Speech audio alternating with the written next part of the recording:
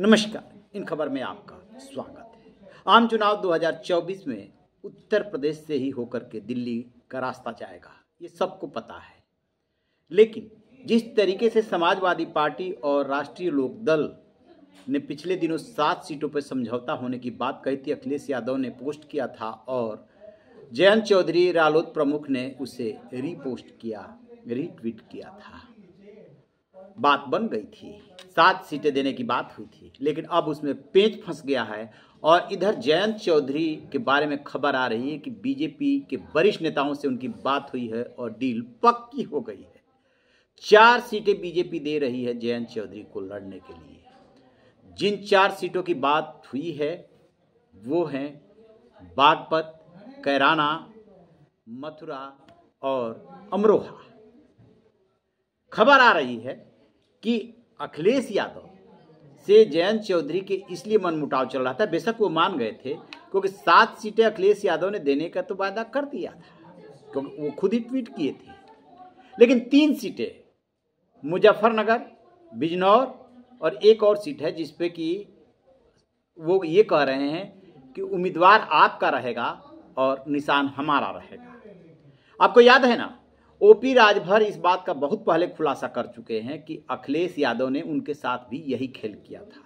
Last तक वो सीटें नहीं क्लियर कर रहे थे कौन कौन से सीटें दे रहे हैं। और बाद में उन्होंने ये खेल कर दिया कि निशान, हमारे निशान पर आपके लोग लड़े।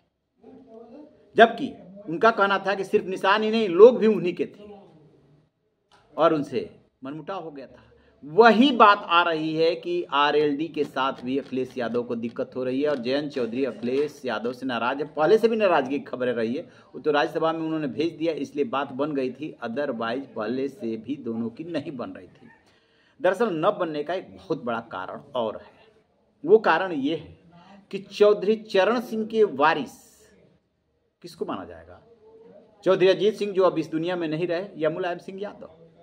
तो पहली बार जब मुलायम सिंह यादव मुख्यमंत्री बने थे तो सेक्रेट वोटिंग हुई थी। और उस वोटिंग में किसी तरीके से अजीत चौधरी, अजीत सिंह को पछाड़ करके मुलायम सिंह यादव जीत गए थे, मुख्यमंत्री बन गए थे। चौधरी चरण सिंह पूर्व प्रधानमंत्री रहे, बड़े किसान नेता माने जाते हैं, और ये सब लोग उनके शीश थे। लेकिन उनकी राजनीतिक विरासत किसके पास जाएगी? चौधरी अजीत सिंह की, मुलायम सिंह यादव से कभी नहीं बनी। इसी वजह से तो दोनों परिवारों को देखेंगे, दोनों की राजनीति को देखेंगे तो बेशक थोड़े समय के लिए आपस में समझौता हो जाए। राजनीति है, मजबूरी में समझौता करना पड़ता है, संभावनाओं का खेल है। लेकिन जयंत चौधरी की अखिलेश यादव से पट नहीं रही, लिहाजा वो पहले भी आरएलडी, बीजेपी के साथ रह चुकी है।